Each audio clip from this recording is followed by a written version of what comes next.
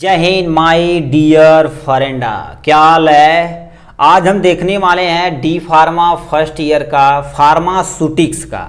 यानी chapter number आपका पाँच है, जो आप यहाँ से देख सकते हैं। क्या? चैप्टर नंबर छः के ऊपर आपका चैप्टर नंबर पाँच, एक दशमलव चार, अमू, यानी क्या होता है? Immunological product. हमने सबसे पहले इम्यूनोलॉजिकल प्रोडक्ट को कवर करेंगे एकदम अच्छे से। उसके बाद वैक्सीन तथा सीरा को भी हम कंसीडर करेंगे इसमें।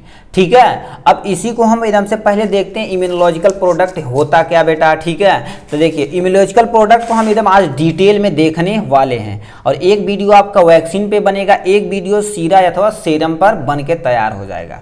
ठीक है? तो ये था तुम्हारा पहला इम्यूनोलॉजिकल प्रोडक्ट का हम पहले इंट्रोडक्शन पूरा एकदम डिटेल में देखने वाले हैं। उसके बाद यानी इम्यूनोलॉजिकल प्रोडक्ट को कैसे स्टोरेज किया जाता? पिछले साल का आप क्वेश्चन उठा के देखेंगे स्टोरेज ऑफ़ यानी storage of the immunological product immunological product को कैसे स्टोरेज किया जाता है, इसमें पूरा डिटेल में एक क्वेश्चन पूछा गया था। ठीक है? अब ये हो गया, अब इनका क्लासिफिकेशन एक्टिव हो गया पैसिव हो गया डायग्नोसिस हो गया। इसे फर्दर डिवाइड कर गया उससे हम एकदम डिटेल में देखने वाले हैं। और इसका खुद का क्या हो गया? एक ना, यानी सबका क्या करेंगे? एक एग्ज़ाम्पल एक से दो एग्ज़ाम्पल लिखा जाएगा। ठीक, जो सबसे इजी फॉर्म में आपको समझाना स्टार्ट किया जाएगा। ठीक? तो इतना आपको समझ में मतलब इस वीडियो में इतना चीज़ आपको कंसीडर करने वाले हैं बेटा, ठीक है? तो चलिए स्टार्ट करते हैं आपका प्यारा सा वीडियो इम्यूनोलॉजिकल प्रोडक्ट ये आपके सामने है इम्यूनोलॉजिकल प्रोडक्ट का नोट। अब लिखिए क्या होता है। इम्यूनोलॉजिकल मतलब जिसे प्रतिरक्षी, यानी हिंदी में देखा जाए तो प्रतिरक्षात्मक उत्पाद बोला जाता है। ठीक है? ये क्या कर देता है? हमारे तो कोई डिज़ीज़ है, उससे अगेंस्ट ये लड़ने में मदद करता है, जिससे हमारी इम्यूनिटी सिस्टम को थोड़ा सा स्ट्रांग करता है थोड़ा सा यानी हमारी इम्यूनिटी सिस्टम रहती है, लड़के उसे मार देती है। ठीक? तो लिखा क्या है? यानी पहला पॉइंट लिखा पॉइंटेज वाइज आप देखते चले जाइए। लिखा है it are the preparation which are यानी विच आर यानी विच आर इम्यून हो गया, ठीक है? Immune immune for the preparation of disease मतलब क्या कर देते हैं? मतलब एक ऐसा प्रिपरेशन जो हमारी इम्यूनिटी को प्रिपरेशन करे किससे डिज़ीज़ से लड़ने में, ठीक है? स्ट्रांग भी यहाँ से आप लिख सकते हैं। पहला पॉइंट सिंपल सा क्या कर देते हैं? एक ऐसा प्रोडक्ट जो किसी भी डिज़ीज़ को डिज़ीज़ को मारने तथा प्रिवेंट करने के लिए यूज़ किया जाता है, उसे हम इम्यूनोलॉजिकल प्रोडक्ट बोलते हैं। ठीक है? अब जैसे एग्ज़ाम्पल में आ सकते हैं वैक्सीन आ सकता है एग्ज़ाम्पल में आपका वैक्सीन आ सकता है, जो वैक्सीन किसके लिए होता है? For the treatment of disease disease को ट्रीटमेंट करने के लिए हम, यानी किसका यूज़ करते हैं? वैक्सीन का। एंटी टॉक्सिन भी हो सकता है और एंटी सीरम भी हो सकता है। मतलब जैसे इम्यूलॉजिकल प्रोडक्ट में वैक्सीन भी हो सकता है एंटी टॉक्सिन भी हो सकता है और आपका एंटी सीरम भी हो सकता है। जैसे फॉर द डायग्नोस्टिक पर्पज जैसे बैक्टीरियल टॉक्सी हो गया तो इसे भी मारने के लिए हम मोस्टली बैक्टीरियल, साइडल और ये सब यूज़ करते हैं, ठीक है? मतलब ये अब इम्यूनिटी पार्ट का इतने तरह से आपके हो सकते हैं, ठीक है? अब क्या लिखा है? यहाँ से नीचे लिखा हुआ है these are the biological product immunological product देखा जाए तो आपका, यानी एक बायोलॉजिकल प्रोडक्ट होता है। एक बायोलॉजिकल प्रोडक्ट होता है, ये प्रोटीनियस इन नेचर का होता है। जो भी बायोलॉजिकल प्रोडक्ट होता है, वो किसका होता है? प्रोटीनियस इन नेचर का होता है। मतलब वो प्रोटीन का बना होता है। जैसे कोई ऑर्गेनिज्म है, उसकी प्रोटीन की मतलब उसके न्यूक्लिक, यानी न्यूक्लिक एसिड मतलब न्यूक्लियर स्ट्रक्चर का अच्छे से स्टडी की जाती है। अच्छा ये यदि हम न्यूक्लिक एसिड है, इसमें ये ये इतना चीज़ है, इसे ब्रेक कर दे तो ये ऑर्गेनिज्म मर जाएगा। तो उसी के प्रोटीन नेचर को हम अच्छे से समझ लेते हैं, उसी के पते हम एक इम्यूनोलॉजिकल प्रोडक्ट बनाकर तैयार कर देते हैं। मगर, अभी तक एक ऐसा तुम्हारा क्या होगा वैक्सीन है जो प्रोटीनियस नेचर भी नहीं है, जो पोलियोमिलाइटस पोलियोमिलाइटस ये पोलियोमिलाइटस एक वैक्सीन है जो आपका प्रोटीनियस नेचर का नहीं है। ठीक है? अब क्या लिखे हैं? लिखा है मोस्ट यानी क्या होता है? Almost are immunological preparation are the यानी administrate by the parental dosages form मतलब आप देखिए, जो भी आप वैक्सीन लगवाने गए होंगे, जितने भी इम्यूनोलॉजिकल प्रोडक्ट होते हैं, जितने भी आप वैक्सीन लगवाने जाते हैं, वो हमेशा इंजेक्शन इंजेक्शन से मतलब सिरिंजी लेते हैं, उसके द्वारा क्या कर देते हैं? हमारे शरीर में इंटर करा देते हैं। हमेशा क्या होता है? पेरेंटल मतलब इंजेक्शन के फॉर्म में ही हमेशा पाया जाता ऑलमोस्ट लगभग लगभग अंठानवे से निन्यानवे परसेंट।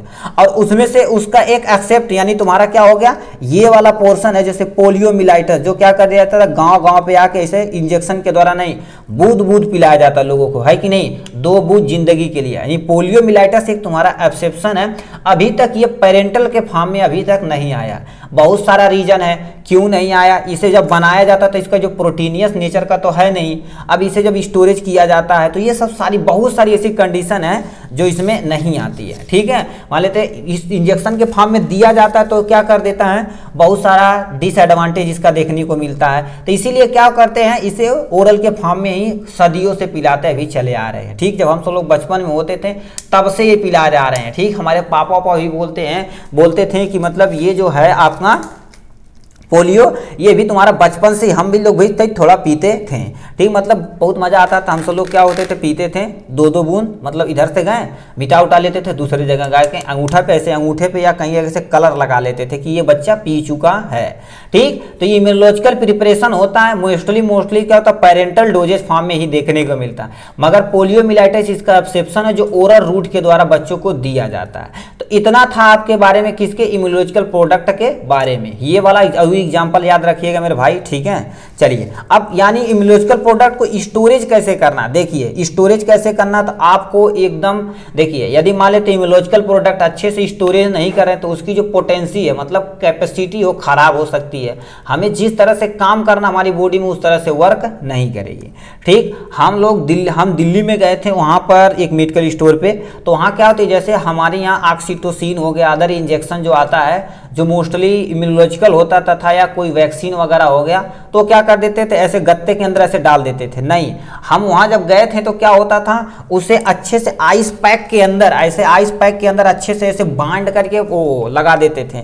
ऐसे मान लेते ये आइस पैक है, इसी के बीच में रख के यहाँ पर वो लग क्या लगा देते थे लोग? वो रबड़ लगा देते थे। उसमें वो आता था। मतलब उससे स्पेशल टाइप का कंटेनर था जो यमार था, वो लेकर आता था।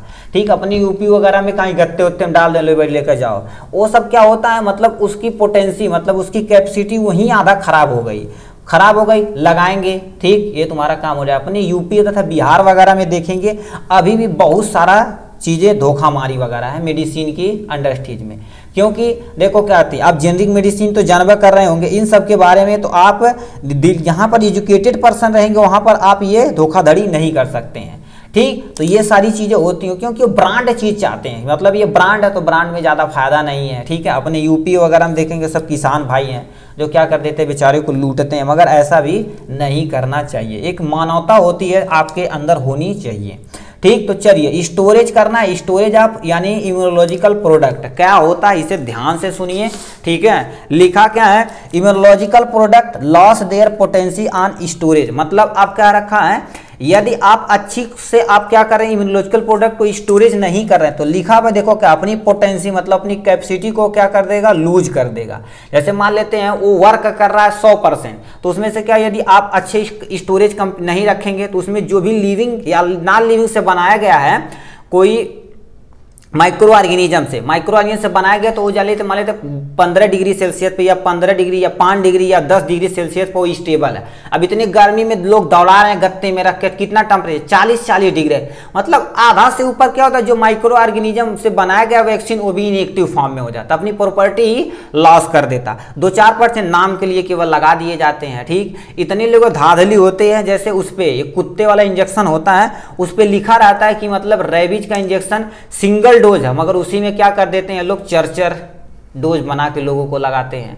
ऐसे ऐसे अपने यहाँ होता है भाई, ठीक है? तो ये सब नहीं करना चाहिए। ठीक स्टोरेज यहाँ से बताया गया कि यदि हम यूलॉजिकल प्रोडक्ट को अच्छे से स्टोरेज नहीं करेंगे, अच्छे स्टोरेज नहीं करेंगे तो अपनी पोटेंसी को लॉस कर देगा। नेक्स्ट पॉइंट पे आते हैं। नेक्स्ट पॉइंट क्या क्या लिखा? The preparation of the potency आप important protein involve the maintain the vibration in living cell and prevent the denaturation of protein that of the antigen and antibody देखिए ये point अब लिख के ध्यान से दे दिया। कहने का मतलब यदि प्रिवेंशन आप क्या कर हैं? यानी प्रिजर्वेशन ऑफ़ द पोटेंसी मतलब बहुत ही इंपॉर्टेंट है, क्योंकि वो इंपॉर्टेंट ऑफ़ प्रोटीन मतलब जो भी वैक्सीन बनाएगा तो प्रोटीन से बनाया गया है। प्रोटीन को क्या कर देते हैं? एक टेम्परेचर होता है इसी पर वो स्टेबल रहेगा। उससे यदि फ्लैक्चुएट किया मतलब ज़्यादा देर तक यदि फ्लैक्चुएट किया तो क्या करेगा? वाइब्रेशन होगा और लिविंग सेल तुम्हारे क्या होगा? प्रिवेंट करेंगे। डी हो जाएगा। मतलब उनकी नेचर क्या हो जाएगी? खत्म हो जाएगी।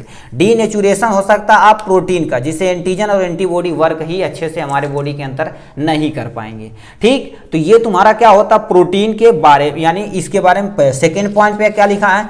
Reduction of reduction in potency is due to the chemical changes which is are the directly proportional to temperature of storage कहने का मतलब क्या कर रखा है? जो भी आपका यानी डोजेज है मतलब इम्यूनोलॉजिकल प्रोडक्ट है रिड्यूज हो जाएगा मतलब रिडक्शन ऑफ़ पोटेंसी उसकी पोटेंसी रिड्यूज हो जाएगी। केमिकल नेचर भी क्या हो जाएगा? चेंज हो जाएगा। यदि टेम्परेचर यदि उससे क्योंकि डायरेक्टली प्रोपोर्शनल ऑफ़ टेम्परेचर यदि टेम्परेचर बनेगा तो इसकी प्रॉपर्टी क्या होगी? लॉस होगी। ठीक है? डायरेक्टली प्रपोर्शनल यदि टेम्परेचर घटे बढ़ेगा, एक, हर एक चीज़ का एक मिनिमम टेम्परेचर होता है। जैसे वैक्सीन वगैरह पर देखेंगे, लिखा रहता कि आप इसे फ्रीजिंग पॉइंट पर रखिए, या चार से पाँच डिग्री सेल्सियस पे आपको रखिए। अब बताइए, उसमें ही नहीं रख के लेके आ रहे हैं, गत्ते में रख के ला रहे हैं, थैली में रख लिए तो बताओ टेम्परेचर मेंटेन हो रहा है? नहीं हो रहा है। तो वही चीज़ ऐसा क्या होती है? उसकी जो, यानी केमिकल प्रॉपर्टी वो चेंज हो जाएगी। लो भैया, केवल नाम के लिए लगाया गया है।